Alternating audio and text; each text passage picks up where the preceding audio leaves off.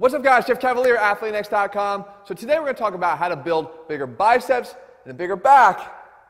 And no, we're not going to do what you think I might do. Like, I, you know, I've watched Jeff's channel. He loves barbell curls. I do. And I actually talked about in a video before how I use them as my primary exercise in trying to build bigger biceps. But that's not it.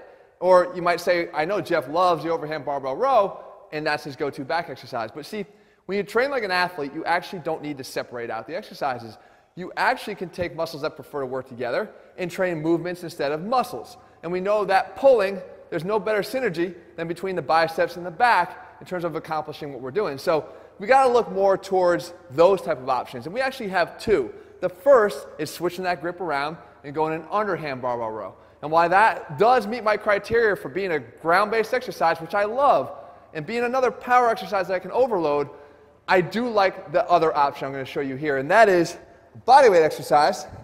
I know people are like, body weight, but you, you can't build muscle with body weight. Yes, you can, especially if you don't continue to do what a lot of people do, and that is forget that body weight doesn't mean that you have to be unweighted. See, body weight is using your own body in space and commanding that, and that's a very athletic thing to do, but being able to load it can still be done. And a weighted chin up is one of the best things you can do to build bigger biceps and a bigger back in one shot. Now here's a couple criteria. Number one, because we can go underhand this way with a supinated grip on the bar as we can with a chin up, we can get more bicep activation. Anybody knows that they tried any kind of chin up before, they know the biceps are heavily recruited.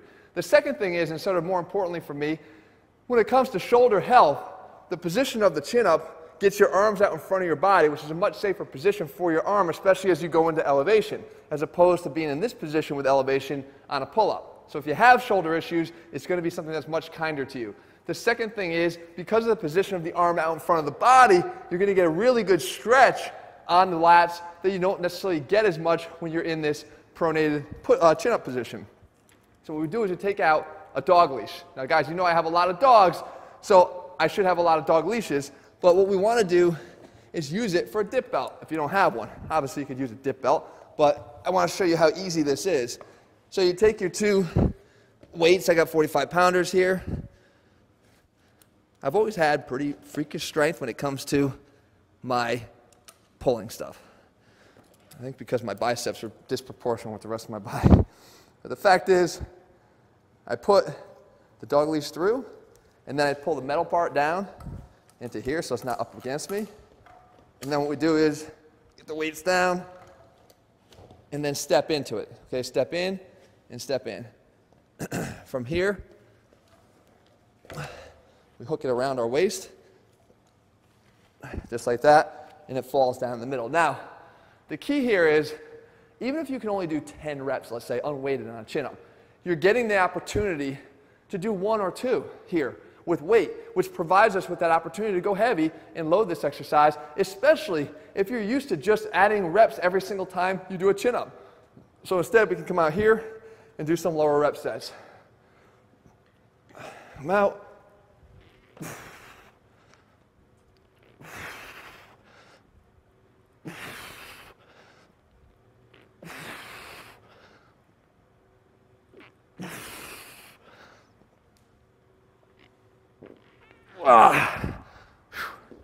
Okay, so a different feeling for sure. Now, you don't have to stop there. If you wanted to continue to go for more overload, hop right up on the bar again in this pre-fatigue state and try to rep out some now unweighted chin-ups.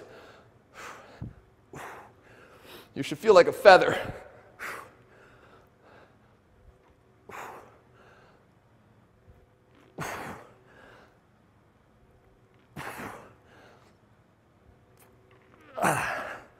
right? And at least try to beat the number that you did on the first set. But the idea here, guys, is commending your body weight is always going to be an athletic endeavor. And if you're not used to doing that, and especially not just your body weight, but a little bit more in the form of external resistance, you're going to be shocked at what you're capable of doing and what the results and the impact that is on your body. The best way to start building bigger biceps and back is to try to get them to integrate and work together and this is a great option for doing it. Simple, straightforward, yes, but no less effective. Guys, if you're looking for a complete bodyweight program, we actually have one called Athlean Zero. It's over at athleanx.com. In the meantime, if you found this video helpful, Leave your comments and thumbs up below. Let me know what you want me to cover. I'll do my best to do that for you in the days and weeks ahead. All right, guys, see you soon.